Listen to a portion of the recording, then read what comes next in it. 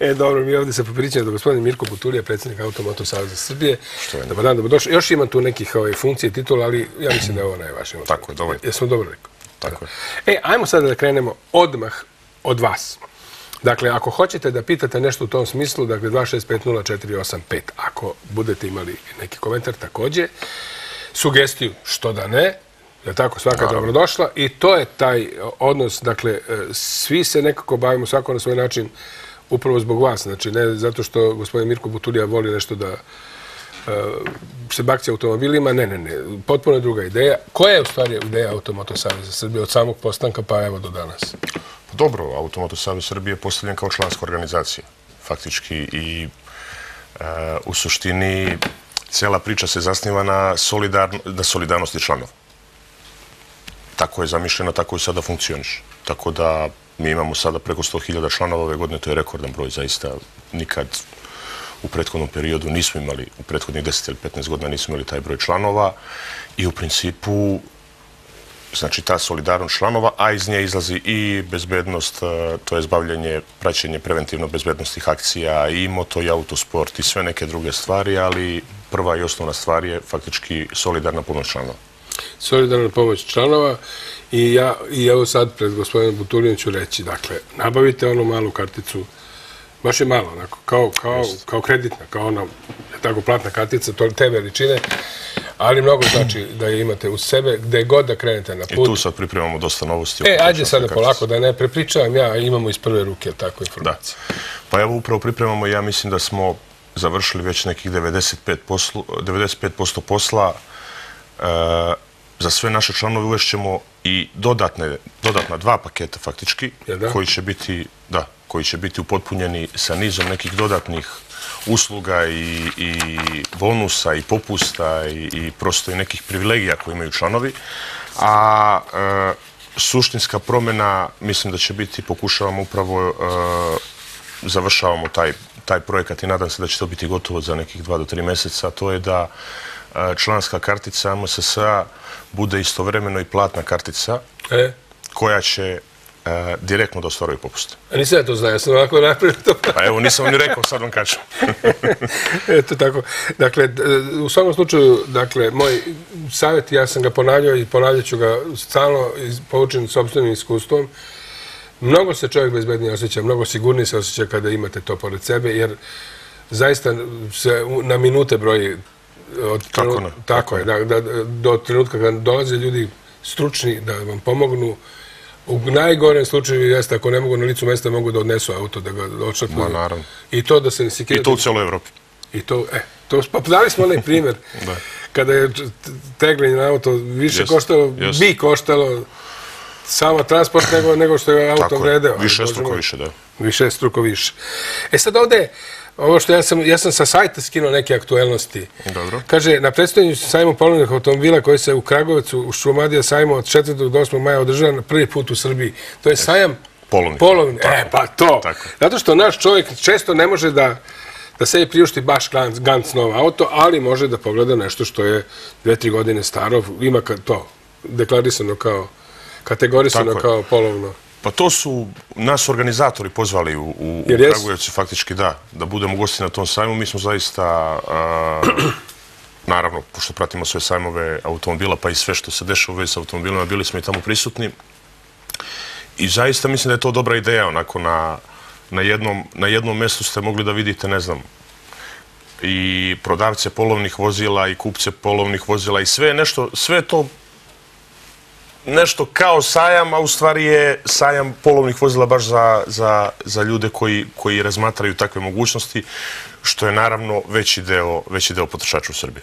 Pa jeste, ali kad pogledaš tri, tri godine, a onaj ciklus, to, je idealno, idealno priča. Kupujem novo auto, tri godine ga vozim, prodajem ga, nabavljam, drugi, doplaćujem reći kako drugi auto, drugi model, već šta mi se sviđa, ukoliko mogu da pratim taj tempo. Ali za to oni drugi, koji ne mogu, mogu da dođu do dobrog auta tako je. Za manje par. Tako je. Je to ta ideja? Naravno. Ajte vi sada, dobar dan, izvolite. Odakle zovete? Izvolite. Alo. Da, izvolite. Dobar dan. Dobar dan. Ovdje je Boža iz Novog Sada. Boža iz Novog Sada. Tako je. I šta kaže Boža? Dragi Nešo, vi obično, vaši gosti, kad dođu kod vas, imaju, na primjer, za po- poklon za slušalce, ako u pitanju knjiga, ako u pitanju neke karte za neku predstavu, u ovom slučaju, Da? Ovaj, ja se javljam u naprede. Ako ima, i ako mogu da dobijem neki popust od gospodina Botulije za učlanjenje i, i kako se zove kasko osiguranje. Au. Imam jednu lepu malu Opel Korsicu. Aha.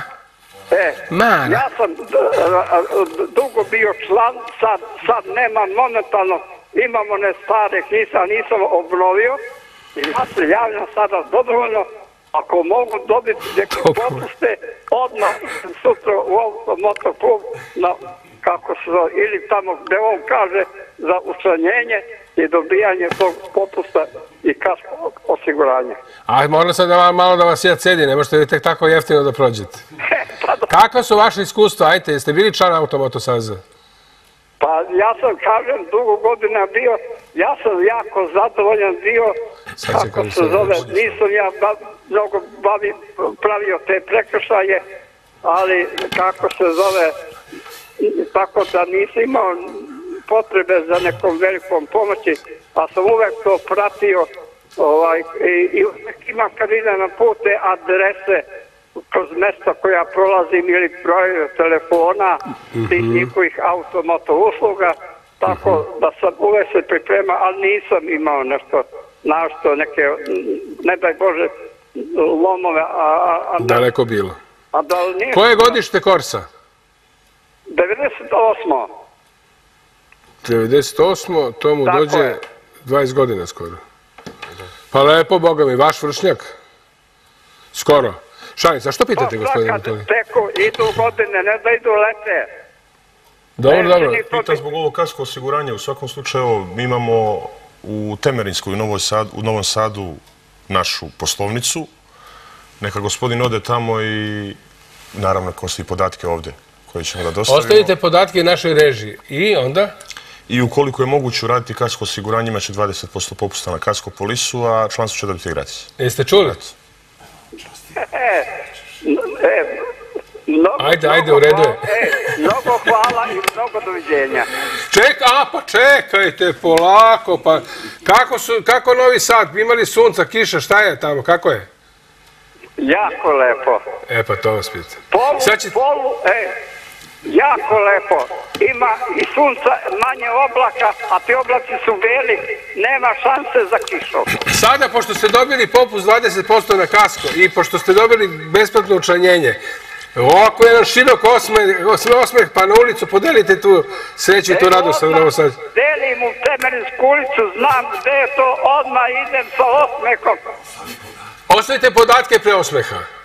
Pa, pa čekaj da mi se jave. Ne, ne, ne, sad ćete vi samo kad prekinemo ovo da, da ostavite podatke. Hvala puno, prijatno. E, nemojte- Dobro sam prošao, ja sam isto tražio automobil. Kad je počelo do knjige...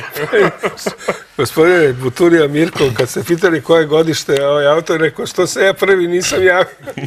Šalim se, naravno.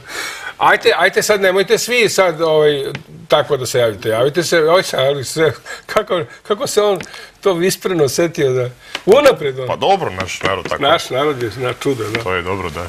E pa dobro. Delit ćemo, bit će, bit će ovaj, prilike, delit ćemo neka, sad kad krenemo neke kacige da radimo, pa tako da ćemo... E, sad ćemo malo da pričamo, ali, ali ja bih volio da malo pogledamo upravo kad, kad smo pomenuli kacige. Ajmo odmah na broj, na broj, na broj 13. To je jedan seminar koji se od, od, sad su to neke druge stvari koje se događaju kao Automoto Savez u pitanju Srbije. Seminar Automoto Saveza na Kopaoniku i to je bila pitanje bezbednosti motociklista Ivan Jeftić, njega sam prepoznao. Osim vas, gospodine Butulija, i još jednog gospodina koji će nešto pričati. Ali prvo da pogledamo tu reportažu broj 13, pa ćemo onda da pričamo o tome. Prije 13. Dvodnevni seminar stručnih službi Automoto Saveza Srbije i Moto Saveza Srbije, koji je upriličen na Koponiku, uvod je u novu sezonu sporta brzina na dva točka. Pored predsjednika Automoto Saveza Srbije Mirka Butulije i Božidara Mihajlovića, generalnog sekretara Moto Saveza Srbije, na seminaru su učestovali predsjednik Saksa Srbije Staniša Lazarac i ispred sekretarijata za saobraćaj Vladimir Jevtić. Razgovarano je na temu povećanja bezbednosti svih učesnika na takmičenjima, odnosno što bolje sinhronizaciji svih službi tokom trkačkog vikenda. Evo sa nama je Božidar Mihajlović ispred Moto Saveza Srbije, jedan, eh, da kažemo slobodno, neobičan seminar, ali seminar koji uvodi u niz novih ovakvih dešavanja. Vi ste se odlučili na ovakav potez da bi se naravno podigla svest i kod mladih motociklista i onih koji treba da se bave motosportom i onih koji se bave već. Sigurno, ovo je seminar e, stručnih službi Moto Saveza Srbije i Auto Moto Saveza Srbije. Kada kažemo stručnih službi, uglavnom lica koja se bave organizacijom takmičenja, a znamo i sami da su klubovi deo sistema motosporta, znači Moto Saveza i Automoto Saveza, znači klubovi organizuju takmičenja da bismo podigli taj nivo poznavanja propisa, izmena u okviru FIMA, naših nekih izmena propisa, usaglašavanja pravilnika i tako dalje. Morali smo da napravimo jedan ovako kvalitetan seminar i planiramo da svaki tri godine radimo i ovaj specialistički seminar za, kažem, stručne službe Moto Saveza, tako zvane sportske funkcionere Automoto Saveza i Moto Saveza. Pritom, E, vrlo ozbiljno Automoto Savez razmišlja o organizaciji svetskog prvenstva u narednih nekoliko godina pritom nas obavezuju pravila da pratimo FIMO-a pravila, s druge strane da iz ovih, da krenemo, seminara edukujemo i izlačimo najbolje koji mogu da odu na FIMO-ove seminare, da dobiju FIMO-ove sertifikate, jer sutra ako organizujemo svetsko prvenstvo, a nemamo takav kadar, moramo da iznajmljujemo iz drugih država. Znači, jednostavno, jedan, jedan odgovoran odnos prvo prema e, samim članovima sistema sporta, sa druge strane o, dali smo veliki akcent na bezbednost, da bismo Eh, na jedan plastičan način eh, došli do toga da su, da su mere bezbednosti nešto što je osnovno da organizator uredi, ne samo organizator, nego i Moto Savez i svi mi koji se bavimo organizacijom ovih velikih takmičenja. Evo na seminaru Motosaveza Srbije jedna potpuno zanimljiva tema i naravno pravo mesto za tu temu. Sa nama je također pravi čovek za tu temu, pa da čujemo Šta se dešava po pitanju bezbednosti motociklista i koje su vaše smernice? Da vam kažem, e, bezbednost motociklista je atraktivna tema, e, ali svakako moramo puno raditi kako bi i na ulici taj rezultat bio kakav treba. E, mi u proseku negde imamo o između 60 i 80 poginulih motociklista u Srbiji. E, kada pogledate rezultate od 2006. do početka e, ove sezone, odnosno kraja prošle kako god, imali smo nekdo preko hiljadu poginulih motociklista u Srbiji. Dakle, trenutno gubimo ono što je najbitnije, to su pre svega mladi ljudi između 18 i 25. godine. Ne smemo dozvoliti kao zemlja takve stvari. E, pre svega moramo ulagati u prevenciju, da mladi ljudi shvate koliki je rizik upravljanja motociklom, a svakako uporedo moramo i povećavati broj registrovanih motocikala, imajući u vidu sve benefite koje motocikl pruša. Ćemo da se posjetimo bezbednosti, sada upravo ovo je bilo tako, Jasno. light motiv cele priče. Videli smo da su tu podeljene neka priznanje i tako dalje. Gospodin Ivan Jeftić jeste bio ovdje i mi smo pričali o bezbednosti motociklista -huh. i e, uopšte o toj kulturi, koliko mi ne prepoznajemo, koliko nismo svesni e, takvih situacija koje dovode, Boga mi, do, do, do o, o, posljednji bilans je bio užas. Jeste. Prvi dan i proleće su doneli mnogo smrtnih slučajeva i, i zato smo i bili ovdje i pričali, apelovali na ljude da na motocikliste da, da, da, da koriste svu zaštitnu opremu, a na one druge učesnike u saobraćaju da primete motocikliste, aman. Da daju migavce, da se ponašaju u skladu s nekim propisima da bi jednostavno povećali bezbednost. Jasno, pa dobro, na, sami, sami ste rekli, vidjeli ste seminar, to u principu seminar je bio prvenstveno posvećen radu stručnih službi Motosaveza mm -hmm. u pripremi za, na, za takmičenja koja, koja su u narednoj sezoni. Uh, najveće takmičenje koje će oni organizovati definitivno u, u, u ovom momentu je Evropski šampionat u motokrosu koji će biti dole u Kruševicu. Naravno, s druge strane, mi se pripremamo i za takozvani jubilarni 50. Srbija reli koji će biti sad u septembru u, u, u Užicu. A naravno da svaki, kao i svaki seminar, pa i ovaj iskorišćeno je i da se popriča malo o, o bezbednosti na putevima. Uvijek, I zaista je ta statistika od početka godine, pogotovo što se tiče motociklista, jako loša, ali prosto, znate kako, i motociklisti, ali i automobilisti po meni su podjednako, podjednako ne obraćaju pažnju negde na druge učesnike u saobraćaju s tim što uh, su po motocikliste posljedice kobnije. Uh,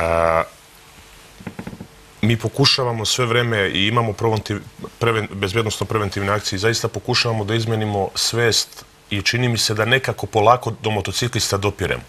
Ali do drugih učesnika u saobraćaju, do vozača, do pešaka, teško. Uh, prosto teško jer mislim da su vozači se osjećaju u vozilu mnogo sigurnije, zaštićenije i prosto negde e, čak, čak imam e, neki subjektivni osjećaj kao da su negde ljubomori na motocikliste kad motociklista hoće da prođe negde. Ovo je to koji pozadnji devojčica sa lepršao plavom kosicom. Tako je, ali prosto mislim da i, i vozači automobila mora to da shvate. Vi kad ste u automobilu, evo danas maltene najveći procent automobila ima i klimu. I i vi imate klimu i klimatizovani ste i možete da stojite u mestu, a svakako ne možete da prođete jer je guža, prosto stojite u koloniji. A, zaista je malo, malo razumevanja potrebno da se pomerite da motociklista mogao da prođe jer a, njemu je sigurno 30 puta gore na motoru kada su velike i ekstremne vrućine nego vama u, u klimatizovanom vozu. Tuneli, nebitno, bilo, bilo koja ulica u Beogradu i prosto vi bilo gdje da odete u bilo koju zapadnu zemlju. Evo, Pariz, recimo, koji ima, ne znam, nestvarno mnogo motociklista, vi ćete vidjeti da postoji u Španiji bilo gde postoji ta kultura da uh, uvek uh, onaj vozač koji u levoj traci vozi kranjom levom, a koji u desnoj kranjom desnom, i ostavlja prostor bukvalno za motocikliste i to je ozbiljan prostor, malte ne može i, može i, i automobil da prođe uh, koliko ljudi razmišljaju, koliko imaju osjećaja jedni prema drugima. Znači, prosto mislim da uh, nije, tu, nije tu bitan taj prostor da motociklista prođe. Ali prosto, vi kad ostavljate taj prostor, to znači da obraćate pažnju na motociklista. Tač. To znači da razmišljate da može da naiđe. To znači da pogledate u retrovizor i tako dalje. Mi smo imali situacije da se otvore vrata na semaforu pa motociklista srata. Tako da, prosto mislim da, da e, Automoto Savez će sprovesti par akcija i što se tiče kacige i što se tiče zaštitnih oprema, gde skrećemo pažnju na motociklista, imamo u planu i onu akciju koju smo radili zajedno sa FIOM, a to je da se na svaki retrovizor lepi ona nalepnica motocikla pa da bi to posjećalo negde vozače na motocikliste. Ali ovaj, zaista pokušavamo permanentno da radimo na tome, ali prosto mislim da, se, da, da treba da se, da se uključi što više organizacija koje se bave bezbjednošću u saobraćaju i zaista da se napravi jedna dobra kampanja. Pogotovo su te kampanje bitne na početku motosezone. Mm -hmm. Evo sad. Pa, već je, sad je već kasno, već počelo negde, ali do pre jedno mesec, mesec i po dana, a, motociklisti su krenuli da izlaze naglo, vozači yes. nisu bili pripremljeni. Pa ni. I, tako je. Ani motociklisti, jer prosto i onda, je, i onda je to najopasniji deo i prosto... Danak u krvi, tako je to bilo tih dana i to zato smo, gospodin Ivan Jeftić je zato i bio ovde. Jeste, ali... Interventno. Da ne bi... Uh, ja ne volim da predstavljamo motociklizam kao nešto što je što je toliko rizično i što je toliko loše i što je, ne znam, toliko nebezbedno.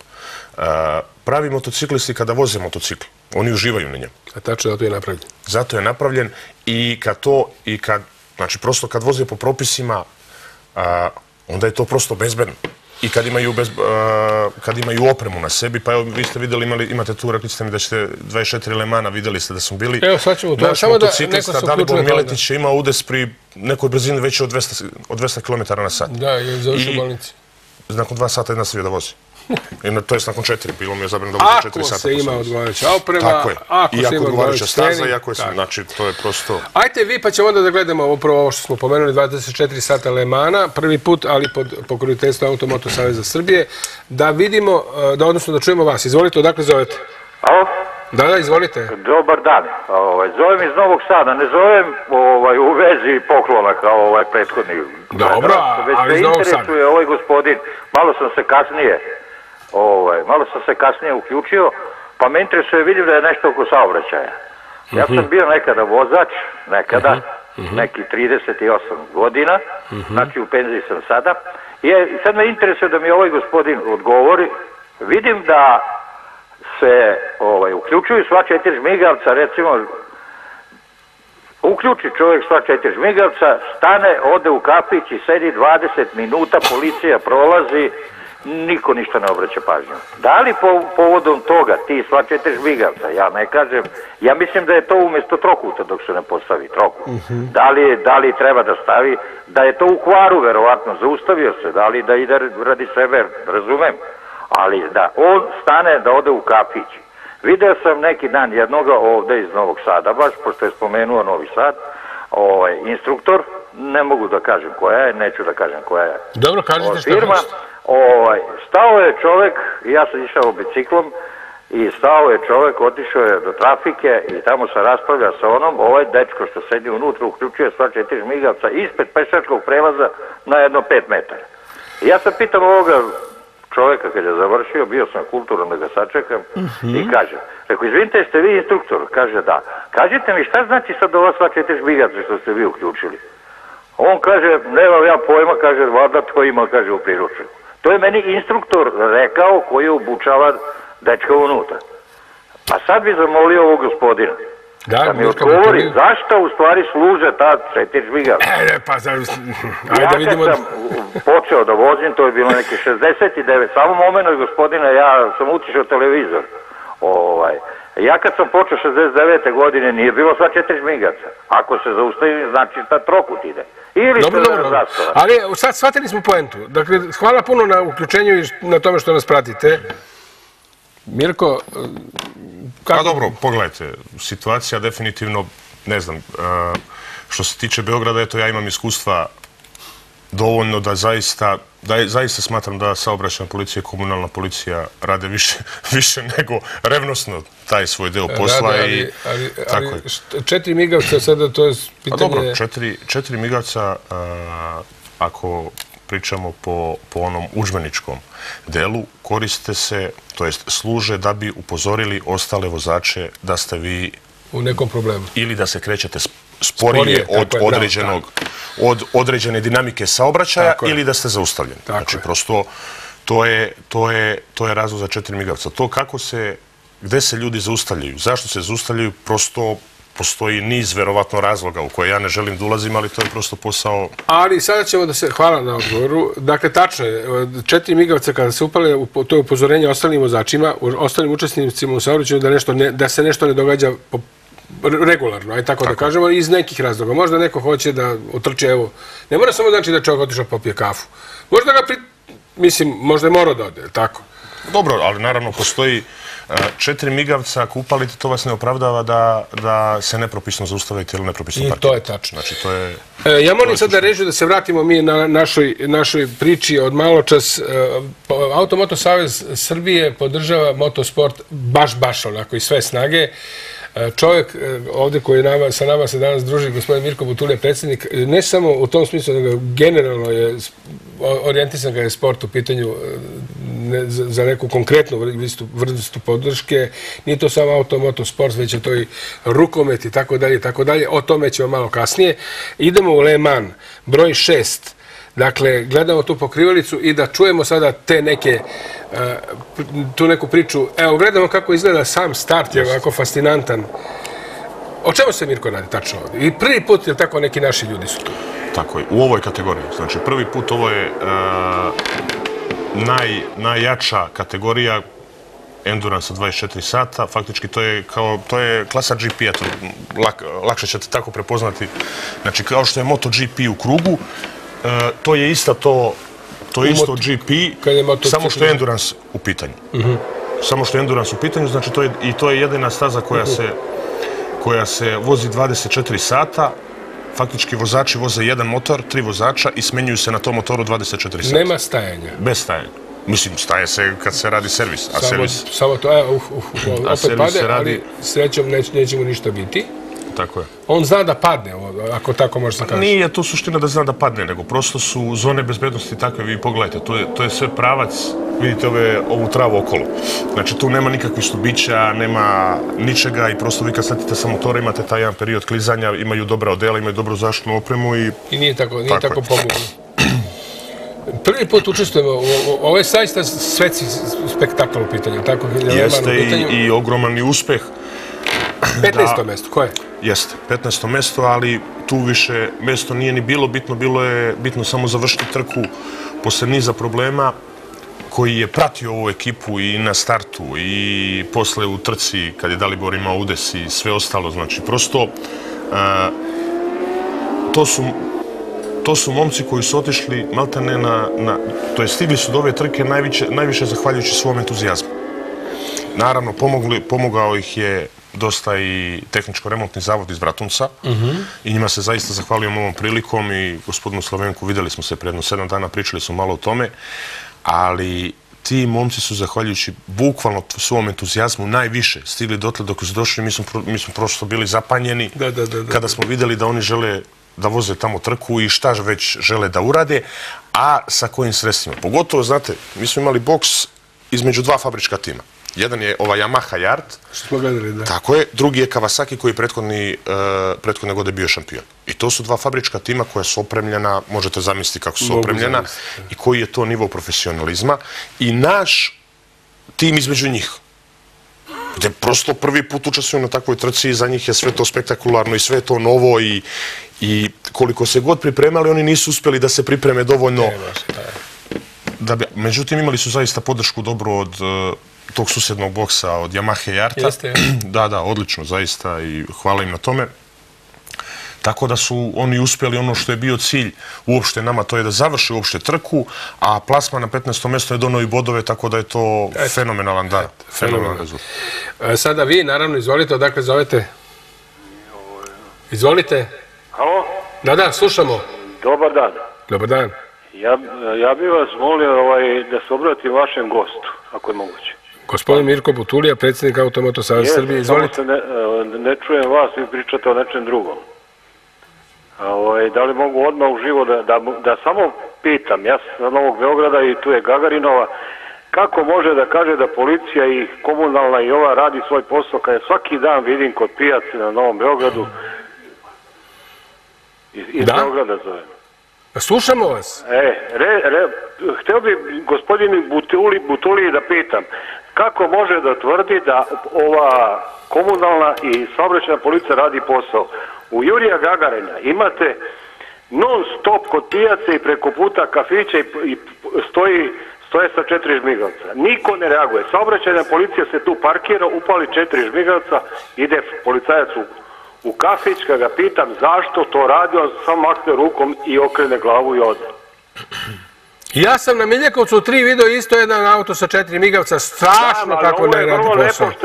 Pa šalim se, nemojte tako da gledate, gledate pojedinačni slučaj samo. Pa nije ovo po- pojedinačno, ovo je svakodnevno. Aha, dobro, da Ovo je svakodnevno, to je, zašto Butulija e, e, tvrdi Pa da... nije on za to kriv, a, Pa nije on kriv, ali ne mora da pokriva policiju. Zbog čega? Zbog politike. Zato što voli policiju čovjek. Gospodine, ne pokrivam ja nikoga, ja sam rekao šta je ono, ako mogu, šta je moj lični utisak. Pošto prosto ja sam većinom u centru grada, manje sam duše na Novom Beogradu, zaista i, i poslovno i privatno nemam toliko obaveza s te strane. Ja pričam ono što vidim po centru grada i meni tako deluje ovaj, da zaista rade svoj posao. Pričam iz jednog prostog razloga što znam par eh, svojih prijatelja koji su dobili ovako kazne a vrlo su se kratko zaustavili, tako da iz tog razloga sam rekao da rade svoj posao. A naravno da svugde postoji izuzeci i vi ako imate takvu situaciju, ja sam siguran ako to prijavite, ako im pošaljete zvaničan dopis, da oni to vrlo brzo mogu da reše. Ma pustite vi, za, zašto vi javno govorite da policija radi kad ne radi, a mogu da zarade svoje plate na, na kaznama o- oni koji, ali ne smiju da priđu čim je džip, ne smiju da priđu čim je bolji auto. A vidite, sad i vi javno pričate to što pričate. Pa svako ima pravo da kaže sobstveno mišljenje, aman. U čemu je problem? Zna, pa znam, ali nije mišljenje i stvarnost uh, ista. To vi kažete. Pa kažem ja, na- pa najnormalnije... pusti, prepustite vama da vi kažete sobstveno mišljenje i dozvolite drugima da imaju svoje. Aman. Šta je problem? Znate šta, mišljenje... Ne, znam, dovoljno smo pričali, to je to. Hvala vam puno. Hvala vam puno da ne širimo ovu priču. Imate pravo na sobstvene utiske, na sobstveno mišljenje. I nemojte nekoga prevaspitavati ovako javno, aman. To nije lepo, ja mislim da to nije okej, jer svako ima pravo... Gospodin Mirko Butul ima svoje sobstveno viđenje toga i iskustvo u tom smislu. I ja isto. I naravno da se ne može podudariti sa vašim. I ako se ne podar- podudari, onda ćete vi sada nama da držite predavanje kako to nije u redu. Ja lično imam iskustvo, sobstveno iskustvo, da mi se gospodin mlad policajac tamo na Rakovičkom putu, kad sam skrenuo levo, pozvoni mi telefon, ja sam ovako pogledao, ispustio, on kaže, stani, stao sam, platio sam kaznu. Iako zna ko sam. Iako sam komšija, to još ja kažem, tu sam radio u opštini. Be, ma nema veze, bio je vrlo nasmijan, vrlo ljubazan, odrome, fino, onako po zakonu. Još mi je dao pucno, kaže, za nedelju dana, ako platite 2500, a ako ne platite 5000, uz osmeh, jeste držali telefon? Pa jesam. Jeste te... Rekao, nisam, gotovo, kraj. Znači, pustite to, te priče svako ima pravo da iznese sobstveno iskustvo, ali nemojte tražiti da neko menja mišljenje. Ajte vi sada, možemo još jedno uključiti. Da, naravno. Naravno. Pa ne znam šta će nas grdi gledalci, krenuli da nas grde, pa ajte, izvolite. Evo, ja ću vas grditi i... i, i Vi drugi ja ću put vas danas. grditi zato što grdite ovog prethodnog Na koga grdi? Nego, kažem, nemojte da nam... Imate sobstveno mišljenje, držite se toga. Gospodin Butulija neka prošeta Gospodin Butulija neka prošeta francuskom ulicom, na sredini Francuske s desne strane ima kafić ili, ili pekara. Tu, tu su uvek troja, četvora koja sa četiri migavca. Pa to nije za... Neka Alo, pogleda, prijatelju moj, ajde ovako, u redu je, shvatili smo. Prošetat ćemo zajedno. Evo, vodim ga tamo u taj kafić na kafu. Odmah posle emisije, ako bude. E, da. Hvala puno vama na uključenju, shvatili smo to. Ali takvih primjera imate milion, ne samo u Beogradu, ne samo u Francuskoj, ne samo na Novom Beogradu. Gde god hoćete toga imate. A dobro, to se prosto dešava, znate šta? To se dešava, tako je. Vozila, mi mora da shvatimo jednu stvar. Saobraćajna kultura svih, svih nas je različita. I imate veći i manji stepen te saobraćajne kulture. Isto tako, putnička vozila nisu šinska vozila. Znači, upravo su zato putnička vozila Možda ćeš doćiš. i ljudi prosto koriste svaku mogućnost da završe neke svoje obaveze u što kraćem periodu, što bezbolnije. Tu policija prosto, po mom mišljenju, i, i komunalna policija, ja opet kažem, po mom mišljenju i tamo gde se ja krećem, a većinom se krećem na starom gradu, jer sam tu vezan i privatno i poslovno i tako dalje, zaista, na ono što ja vidim, rade dobro svoj posao. A ja što- Verovatno postoje Da? lokali. Verovatno postoje, mislim, vi znate, mi smo i u Rakovici tamo. Pretpostavljam da u Rakovici koja je, da postoje uličice koje su, prosto nisu toliko tranzitne, gde stane po pet ljudi, upali sva četiri migavca, Tako je. gde ne, prosto, pretpostavljam da i oni ljudi nemaju dovoljno ljudstva na terenu, pa da mogu to da stignu, pa se takve neke stvari gde nije ugrožen saobraćaj tolerišu. Ali ja, ja vam kažem, evo, ako se setite situacije, vi ste u Beogradu, sad ne znam zaista Novi Sad, ne ulazim u to, sećate se nekad e, bulevara Revolucije, sada bulevara Kralja Aleksandra. Tako je. To je bila cela jedna traka koja je bila zauzeta vozilima koja su zaustavljena tamo. Non stop. Vi sad prođite, verovatno ćemo naći jednog Teško. koji se zaustavi. Visoka i visoki ivica. Nebitno, možda nađemo jednog, uvek imate, ali pogledajte sad su prohodne malte ne obe, to jest u nekim delovima i tri, a u većinom obe trake su prohodne i saobraćaj se uh, odvija Ali neometano. to znači se ovako menja, ipak menja se. Prosto tu, je, tu, s- tu se neki napredak pravi, ali da treba vreme da se uradi, treba. Da treba razumeti te ljude koji rade tamo, pa treba. Pa nije ni njima baš sve vreme lako i nije ni njima e, baš sve vreme slatko ići i kažnjavati ljude. Mislim, lepo je reći kazni ga, ali mi ne znamo zašto je neko stao. Možda je neko stao zato što mu je dete bolesno. Možda je stao da kupi lek. Možda je stao da sačeka neku nepokretnu osobu. I vi psujete nekog policajca, a vi sutra da ste u toj situaciji i da vam tako policajac priđe, onda bi ga opet kritikovali kako može tako da uradi, kao što je bila priča oko škola kad je kad su kažnjavani roditelji koji su čekali decu, pa je bila priča, eto, sram ih bilo, samo smo stali tri minuta da nam dete uđe u vozilo. Znači, to Ajmo je, mi da se to je jedna široka tema, ali u je. principu mislim da zaista treba da se pridržavaju zakona i vozači i nadležne službe i da gledamo da iznivelišemo to. To jeste proces, ali situacija je sada mnogo bolja nego što je bila pre pet godina ili pre tri godine. I nadam se da će za tri biti još bolje. Eto, to je suština. Uh, ja, ja se plašim da uključim gledalce. Šalim se, izvolite. plašite? Ajte vi, dobar dan. Halo, Alo, izvolite. alo, dobar dan. Dobar dan. Slušamo vas. Pozdrav vama i vašem gledalcu, e, va, vašem gostu, pardon. Dobro. Ovaj, nećemo nikomu da kritikujemo, samo u vezi sporta, automotosporta da pričamo, ako je moguće. O, baš to. Upravo sam teo sada da krenemo priču o Duci Borkoviću i veličanstvenoj pobedi u Bahreinu. Imamo i te slike. Ajte vi. Evo ovako, pa imate dosta dece koje imate dosta dece koje uh, kao Srbiju, kao mali ambasadori predstavljaju našu zemlju preko što se tiče Mhm. automotosporta. Možda gospodin Butulija zna, možda ne zna, kao i Duca Borković, tako imaju neki mali ljudi koji imaju 14, 13 godina koji su šampioni, koji imaju zlatne kacige, a koji voze u inostranstvu malte ne po tuđom zastavom jer nemaju toliko ovaj, e, nemaju toliko leđa velika od Automoto Saveza i od ove vlade našiju i od, i od same e, vlade Republike Srbije. Ajte konkretno, sve mi se čini da je to neko iz vaše porodice. Ne, nije niko iz moje porodice. A ko je? O kome radi pričate? Se, radi se o, o, o dva šampiona. Jedan je Milan Nikolić koji je nosila zlatne kacige, najmlađi nosilac u Evropi zlatne kacige. Gde živi on? On živi u Zvezdari, na Zvezdari, dečko živi. Znači, naš školu. dečko odavde iz Beograda. I ko još? I radi se o Radojkoviću, Aleksa Radojković, isto dete koji je u Beogradu koji vozi trke, on je isto šampion, ja mislim da je na, na, na, na kružnim stazama. Ali govorimo i o jednom i o drugom, čak mislim da i e, karting je malo manje zastupljen kod nas. Pa sam htio da Karting. vidim koje su mogućnosti ovaj, da se pomogne. podršku? Jeste čuli? Kako, kako? Kako, kako mislite nemaju podršku?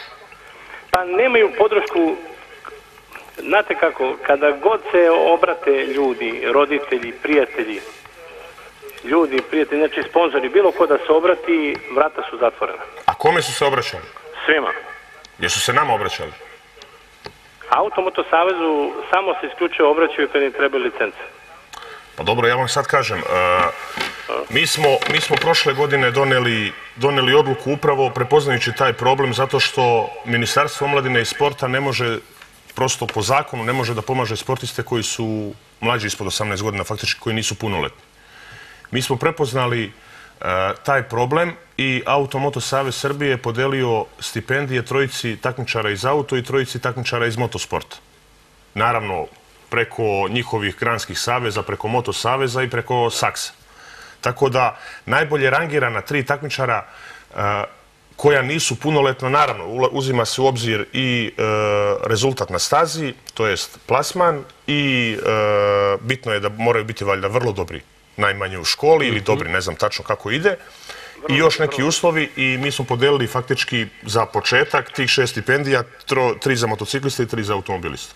Čuli ste? Jel me čujete? Dobro. Ne znam da li ste informisani, znate da je... A, čujemo, čujemo. U redu, e, da li ste, ako ste zadovoljni odgovorom, ima još samo 10 minuta za celu ovu priču danas. Ja bih malo volio da se uputimo i u Bahrein. Hvala vama puno na ovome i e, čuli ste odgovor. Postoje neki kriterijumi, neke, ne, ne, neke kategorije koje... E, upravo smo čuli odgovor. Ne, naravno, mi smo upravo iz tog razloga što Ministarstvo omladine i sporta ne može to da radi. Tako je, bravo. Jer ne prepoznaju, oni prepoznaju samo profesionalne i punoletne sportiste. Automoto Savez Srbije je uzeo tri takmičara iz motosporta i tri takmičara upravo I kad kažem iz auto, mislim na karting sport. Na karting, Jer karting je ta disciplina koju oni... dajete podršku karting sportu. I e, tri takmičara koja su najperspektivnije i najmlađe iz karting sporta, i oni su dobili godišnje stipendije. Sad u iznosima zaista ne želim da pričam, ali nisu mali iznosi. Nisu mali iznosi zato što samo zbog toga što je automobilizam veoma skup sport. Naravno, pa I dobro ti to je. tu ne možeš bez podrške, definitivno teško da neko može da... Uvek su ti timovi u pitanju. Mhm. E sad ajmo ovako, ajmo sad ajmo definitivno da se uputimo uh, u Bahrein, dakle broj četiri kao pokrivalica, a gospodin Butulija će da nam ovako u, u svojstvu komentatora kaže šta vidi i da, kako je to sve izgledalo. Ali izgleda stvarno Ne veličan. znam šta da vam kažem. Ma dobro, Duca je, Duca Borković je već zaista ovaj, naš brend ozbiljan, tako da... A da pričamo malo i o ovome što gledamo. O ti vozači, tu je Duca Borković, stvarno pobedit će, da vam to odmah kažem, i bit će tu šampanjca na kraju. Ali ovakva jedna pista, gde smo, do, dokle smo stigli? Ovo je rudnik zlata, ljudi moji, imati ovako nešto u Srbiji, to ja mislim da je to biznis koliko potez god, godine. koliko god to deluje nekom komplikovano i, i, i, i onako daleko, mi ne odustajemo od toga i, eh, i dalje radimo i dalje radimo ozbiljno na tom, na tom pitanju, tako da ne mogu sve što kažem sada nije, nije korektno da kažem, ali, ali radimo na tome, zaista ozbiljno radimo. Ovaj, e, k- neko misli to je samo 5-6 dana dok traje trka, međutim nije tačno. 20, Ne, pa to 4 su- sata dnevno, 365 dana u je, godini je to to su, angažovano. zaista, to su zaista projekti koji doprinose mnogo i gradu i državi u kojoj se nalaze i svem ostalom je prosto te staze se koriste. Evo, Srbija. Da, da. Jedan od takmičara je prokomentarisao, kaže, jedini, kaže, među nama koji je držao zastavu svoje zemlje je upravo Duca Borković. A dobro, drže svi naši automobilisti, motociklisti. Duca naravno prepoznatljiv je po tome i ponosan zaista što se toga tiče, ali svi naši i motociklisti i automobilisti vrlo, tako je, vrlo ponosno dignu zastavu i vrlo su ponosni kada čuju himnu, pa i u Lemanu isto tako, kad se intonirala himna, to je sve bilo ovaj, Zaista vrhunski sportista, jedan divan čovjek Jeste, sam jeste, po sebi, da. Supruga. Supruga, Koja mu je podrška zaista ono najveća i tako. Jeste, ja moram da kažem da, da pohvalim ovaj Automoto Savez Srbije, ovaj, prepoznao je i jedan serijal koji se zove Klub šampiona i tu za, zaista Dino sarađujemo, a Duca Borković je već dva puta, A pa eto. dva puta već bio ovaj, dupli, dupli član, da tako kažem. Preko 110 vrhunskih sportista je uzelo učešće u tom serijalu i to ostaje kao jedan, jedan fini dokumentarni materijal za uvek. Pa dobro, mislim to je odlična emisija, zato Pa jeste, ali se radi o tome da, da, da bitno je da se prepozna nešto što, što valja podržati. Evo, poput Duce Borkovića koji, koji zaista uz pomoć ovakve podrške može da ode negde u Bahrein i da se digne ta naša zastava i da se čuje ta naša himna. Jeste, I sad da nije samo Đoković koji sad to se radi. spremaju oni i Vesnica jedno da voze ovaj. Evo imamo još jedno uključenje za danas, možda bi to bilo to, još sedam minuta do kraja, ali ajte vi, pa nekako malo, ako možete tu vašu priču da sabijete, izvolite. Najkraće, hvala. Svaki gledalac ima svoje demokratsko pravo da kaže svoje mišljenje, svoj kritički osvrt. Tako je. ali danas ste, gospodin Pavlović, opovrgli sami sebe. A to je- Hvala vam, ali više vas ne gledam. Doviđenja. Pa kako sam samo, čekajte, recite mi kako. Pa dva gledalca ste odbili, praktično ništa ružno, ni o kome ružno ništa nisu govorili, ali ste ih vi jednostavno skinuli samo. Samo trenutak da vam nešto Ne ide tako. Samo polako, polako. Evo, da imate sad prostor, jer mogu ja nešto da kažem u svoju odbranu? Mogu? Ma naravno, ali ono što Evo, ste samo trenutak da vam objasnim nešto. Vidite to ne ovo? može da se izbriše. Samo polako. Ovo se zove sat. Je tako? I mi imamo vreme za koje možemo da za našim gostom popričamo određenim temama. Vi ste tu da se uključite u program, ali kad krenem da se vrti ista, jedna te ista priča u krug i beskonačno, onda je moj zadatak zbog nekih drugih gledalaca da kažem u redu je, shvatili smo, shvatili smo poentu, imate pravo na sobstveno mišljenje, iskoristili ste svoje vreme i hvala vam na tome. Dakle, nemojte mi to spočitavati kao nešto da sam... A to da ćete da me gledate, mene ili ovaj program, nećete, opet sobstvena odluka vaša, a ne moja. Sasvim ste drugi utisak ostavili i oprostite, ali tako je bilo. Svakako Vrlo, vi, vrlo, samo vi hrabro. Znate vrlo kako, imate, imate, nemojte, nisam se naljutio, sva, vaše pravo. Ako vam se ne dopadne program, ovako, klik, kraj, idete gledate nešto drugo. Je li to u redu? Nažalost, nažalost, cenio sam vašu emisiju mnogo. A više evo, ne cenite zato što su dva gledalaca pričala malo duže. Nisu ošto, čak i vremenski nisu prekoračili mnogo. Tek su počeli, ali ste drugog baš skinuli onako, pošteno. Evo vam taj rođak neki, nije. Ništa, izvinjavam se. I ovaj, ja se vam Hvala izvinjam, vam. prijatno. U, znate šta, bio je advokat ovde ovaj, u prvom delu emisije, gospodin Ivan Simić, pa vidim je nešto iz te branše, znači štitite nekoga koga ja nisam ni napao, ali nema veze, ajde. Samo vam kažem da postoje neka pravila i razumeće oni koji gledaju ovaj serijal, četiri godine traje. Dakle, vrlo smo demokratski, ja kažem, ovo je najdemokratske emisija na svetu, potpuno otvorena, niti znamo kako se zovete, niti smo znali šta ćete da kažete, imate pravo i da pohvalite i da pokudite, vi ste svoje pravo iskoristili i hvala vama na to. Bez obzira šta vi mislite, imate pravo na sobstveno mišljenje. Uh, Pa dobro. Interesantno. A, pa jeste svakako, nismo stigli milion nekih priča i tema da... Ajmo samo još možda najvažnije u celoj toj priči jeste da mm, neki naši roditelji pre nekih 30-40 godina nije, nije postojala opasnost koja se zove mobilni telefon. Postojali su sendviči, cigare u kolima i tako neke stvari druge koje su odlačile pažnje da tokom vožnje pa su uzrokovale možda neke nesreće i tako dalje. Međutim, ono što je uzelo zaista e, formu epidemije, to jeste te- kuckanje, nažalost, i korišćenje mobilnog telefona u, u, u kolima za vreme vožnje. I ja moram da sad pustim jedan spot da bismo malo i o tome pričali i kakve su, dakle, u tom smislu akcije Automoto Saveza. E, Molim broj 9. Broj 9 da pogledamo. Hi, James. My mate Jules fancies you. It's not, funny it's not even funny now. Let me just get his number. in the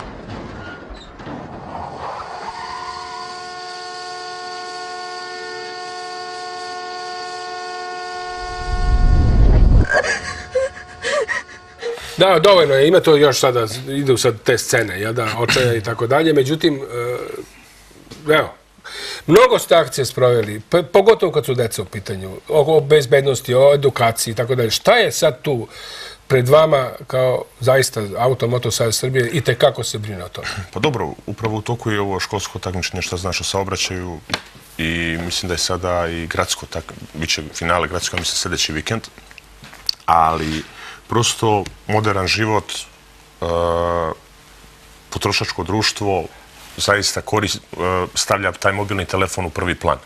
Brzo živimo, brzo vozimo, e, prosto ljudi smatraju, nemamo vremena za tako dalje i e, do duše sad je taj, po mojim nekim podacima, taj, i to se negde menja. I to je negde polako u opadanju. Ali zaista u jednom momentu bilo normalno komunicirati sa mobilnim telefonom i voziti to je, prosto su vozači to predstavili sebi kao jednu normalnost. A to je najopasnija stvar koju možete da uradite u saobraćaju. vidjeli smo. Verujte mi da po meni sigurno najopasnija stvar koju možete da uradite u saobraćaju, jer kad vi telefonirate ili kad kucate poruku ili odgovarate na bilo koji način, znači vama je dovoljno dve, jedna ili dve sekunde da vam, da vam oči nisu da ne prate situaciju i faktički tih sekundu ili dve mogu biti kobne i za vas i za i za drugi učesnik u saobraćaju. Sve se menja u sekundi, dakle, kompletna situacija. Možda neko izađe iz pobočne ulice, neko dete... Pešak, vozilo se naglo zustavi, jer pogledajte, vi ako vozite uh, prosječnom brzinom 50 ili 60 na sat, i ako držite rastojanje 5 ili 7 metara, vi ga gubite za sekundu. I bio je još jedan spot, negde sam ga skinuo pa sam ga zatvorio, ali ću da ga potražim. Vrlo je, vrlo je ovako upečatljiv. E, nema ovakve scene, ali ima nešto drugo. Čovjek vozi i sad ima ispred sebe sliku autoputa, sve je regularno.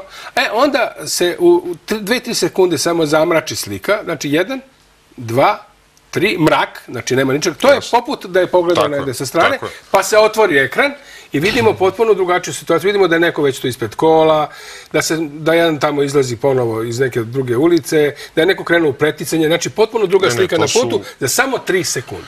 Tako je. To je, to je zaista jako, jako bitno. Znači da prosto, uh, pričali smo malo pre o motociklistima, mm. i ista je stvar kad prođe, kad okrene kacegu, kad pogleda. Znači, prosto jako je bitno da je vozač i da je svaki učesnik u saobraćaju fokusiran na saobraćaju. Gospodine Butulija, hvala puno na izdvojenom vremenu. Znam da poštojem to što znam koliko ste zauzeti. Zaista to mislim od srca i to treba i vi da znate. Dakle, Automoto Savez Srbije, samo to da kažem, dakle, nemojte, ni da, ne, nemojte da časite časa da nabavite to, jer verujte, veliki, velika pomoć je na putu. Zbog sebe, zbog vas vam to kažem. A sad što se tiče ovoga eh, IPTV-a, da kažemo da su oni promenili naš, našu poziciju sa 125. Eh, kanala na 518 to je to mesto koje treba da memorište da biste gledali našu televiziju dalje. E, potražite nas pa memorište 518, ali također sada odmah posle ove emisije zbog ogromnog interesovanja gledalaca kod nas, ali boga mi i u regionu, e, intervju Zorana Zajeva, lidera SDSM-a, odmah posle ove naše jutarnje kafe, možete da pogledate, a vi koji niste ili vi koji to želite još jedan puta da učinite, samo hrabro i što gospodine Butulija, hvala. Hvala. Pa šta da vam kažem? Mnogo mi je bilo drago da smo ovo sve videli. Pola stvari najmanje od onog što sam ja želeo da, da, da pričam sa gospodinom Butulijom nismo, ali nadam se da ćemo vrlo brzo imati prilike za tako nešto. I ja. Toliko. Prijetno.